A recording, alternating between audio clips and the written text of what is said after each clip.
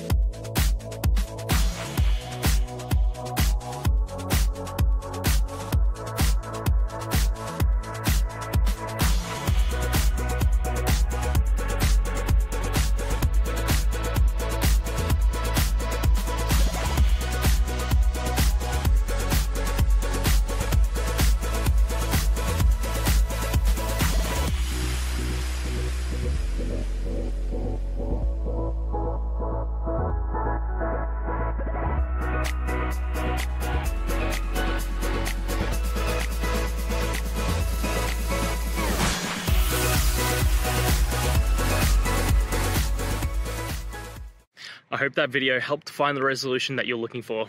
And if it did, please, I'd appreciate it if you could hit subscribe.